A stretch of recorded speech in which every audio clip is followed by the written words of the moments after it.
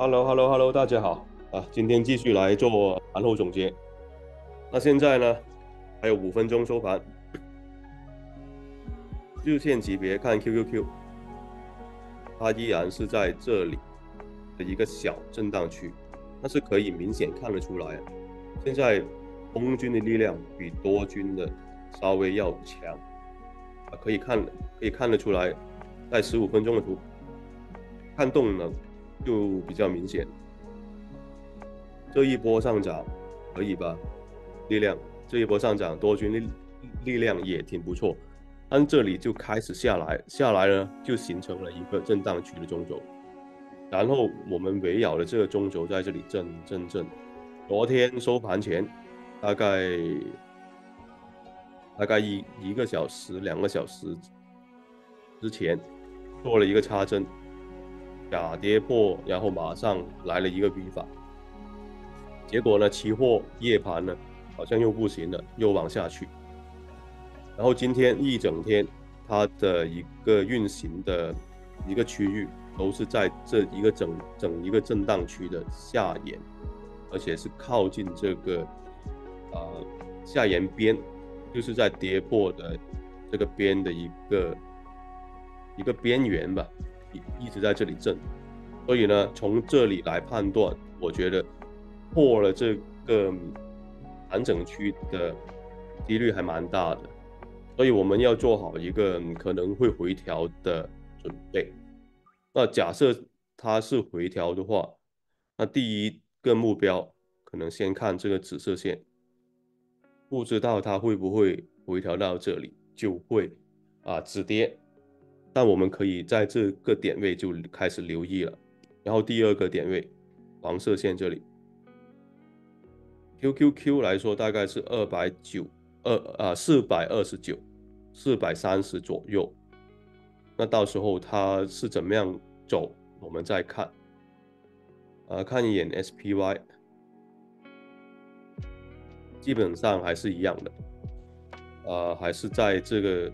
震荡区的下半部在这里震，那它稍微比 QQQ 走的要强一点哦。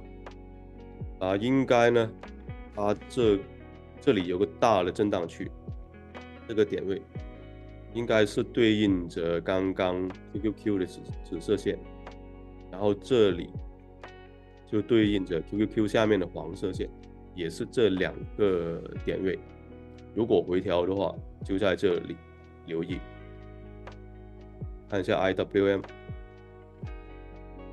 今天上去以后，上去多少，下来又多少，那这样来看，有可能会演变成这种横向的一个整理，有可能这个震荡上行的形态会改变。再看一下比特币，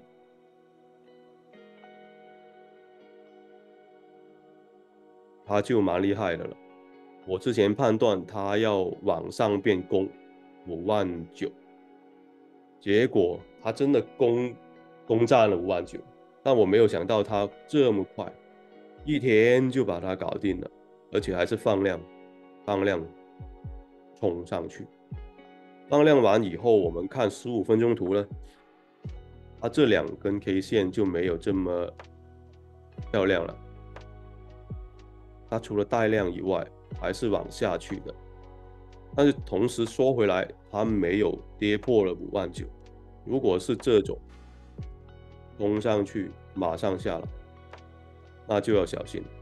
现在看来还是 OK 的，没什么问题。啊，也有一个几率就是演变成在这个位置震。里面怎么样震？它的形态是这样震呢，还是这种震呢？我们不知道。但是判断的话，可能是走这种震荡会几率大一点，因为它冲也冲了，连续冲了三天，一二三三天，所以呢，它休息一下也是很正常的。Coinbase。稍微的表现有点失望啊，因为它没有完全跟随比特币的趋势往上冲。报完业绩以后，它做了一个震荡上行，斜率没有说很斜，就是稍微一点点的上行。暂时来讲呢，还没有什么大问题，因为它今天的低点比昨天呢还是要高的啊，所以呢，我们现在可以留意这个点，这个点。如果它不破的话，可以继续拿着。我们也已经减仓了，所以啊，拿着看后面的情况怎么样啊去。Snow 现在讲好像没有什么太大作用，因为它很快，可能不知道几几分钟还是很快就要报财报。看回头讲，还是说今天稍微的就。skip 它吧，然后讲一下这个 ARKK 突破这个上涨的一个震荡通道，今天呢跟 IWM 还是比较像，上涨多少回来也差不多是是这个样子，啊，所以判断呢跟 IWM 应该没有太大的的一个分别。也可以讲，基本上拿下了这个点。之前都是说他要来打这个点嘛，早上应该也差不多了，算是来过这个点。那后面呢？我看它的发展情况是怎么样？反正目标就是这个日线的波段前高，看一下它是怎么样后市的走法。啊，然后 MRNA。嗯，也没什么特别，就是走了一个十五分钟震荡上行一个通道，先拿着继续看。然后今天开了一个新仓，开了波音，突破了这里，我就进了。当时的判断是突破这里就是突破了它的破了它的惯性。下跌的惯性，而且破了它的下跌的结构。突破这里的时候，我就看五分钟图，它这里也是放量的，所以我就没有等，马上就进了。进完以后，今天整一天的走势还 OK，走得很很不错，就继续拿着吧。现在在这一个震荡区的中轴受到阻力。看他明天怎么样处理这个阻力。OK，应该也没什么其他可以讲的吧。